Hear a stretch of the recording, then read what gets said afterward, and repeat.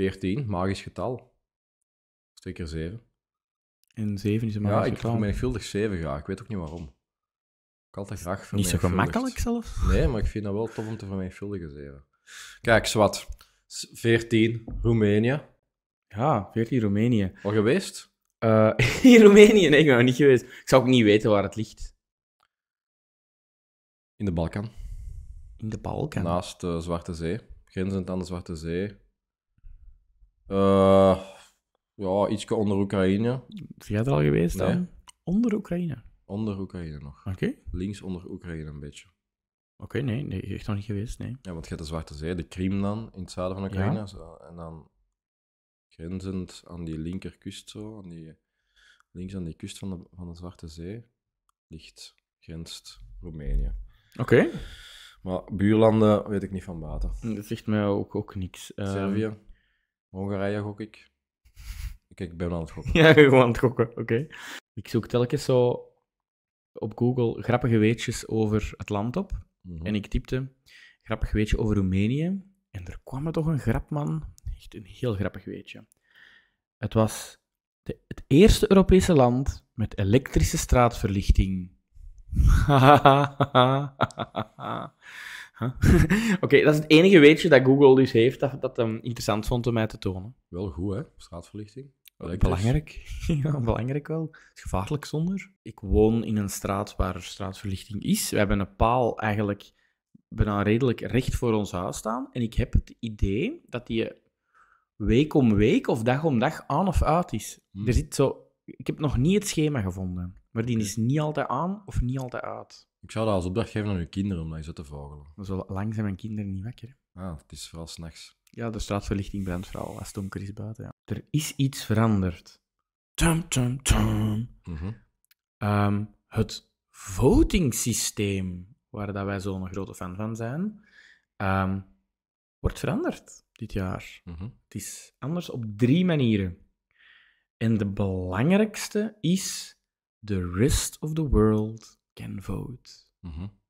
Het wordt World Vision. Ja, als je online wilt foto's, moet je je registreren via je creditcard.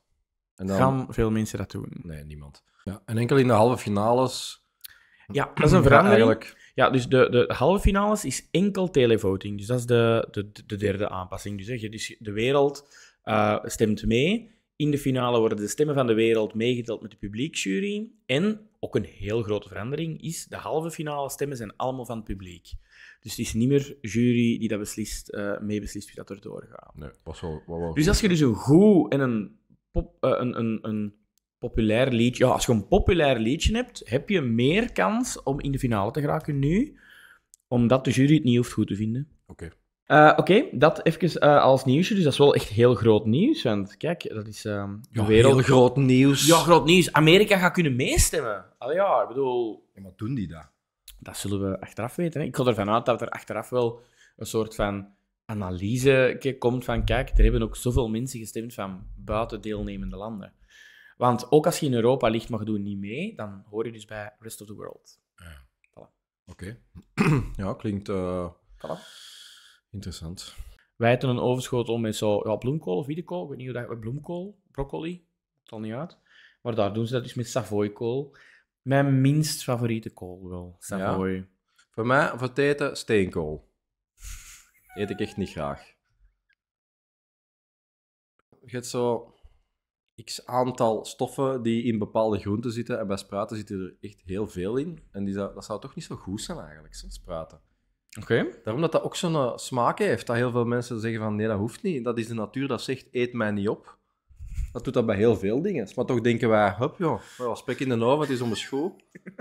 Patatten, spruiten, spek. Nee, dat kan ik hem- nee, de geur alleen al is goed voor het huis terug uit te gaan. Oké, Verschrikkelijk.